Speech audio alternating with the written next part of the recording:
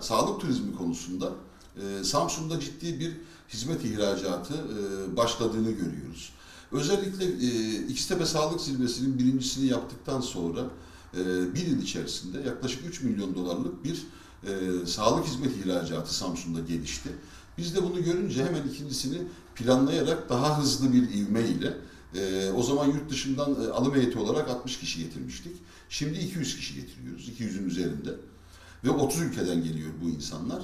Ee, sebep çünkü Samsun hem bölgemizin hem ülkemizin sağlık hizmeti konusunda zirve şehirlerinden bir tanesi. Şehir'deki sağlık hizmeti sektörü özellikle özel hastaneler ve kamu hastanelerimiz, şehir hastanemiz, hastanemizde yapılıyor, üniversite hastanemiz, e, şehirde birbiriyle irtibatlı ve e, kendi aralarında rekabeti artık yavaş yavaş bırakmış ve dış rekabete doğru yönelmiş durumda.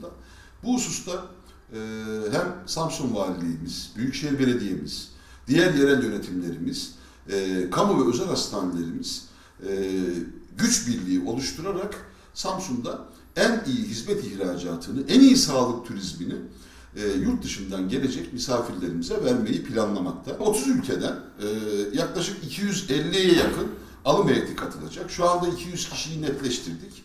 E, daha bir, bir ay var şu an zirve tarihimize. 250'ye yakın alım heyeti gelecek. E, hem tıbbi cihaz ve malzeme alımı konusunda hem de sağlık hizmeti ihracatı yani e, bizim tabirimizde sağlık turizmi konusunda buradaki hastanelerimizi, doktorlarımızı, Samsun'un sağlık şehri olarak altyapısını tanıyarak, görerek buraya hasta gönderecek e, alım heyetlerini burada ağırlayacağız zirvede.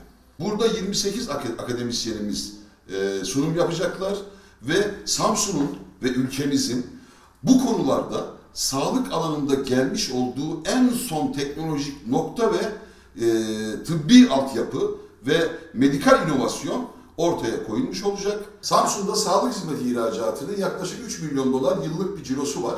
Ama biz bunu Uluslararası İkiztepe Sağlık Zirvesi'nden sonra, e, ikincisinden sonra yaklaşık 30 milyon dolara çıkartmayı hedefliyoruz yıllık olarak.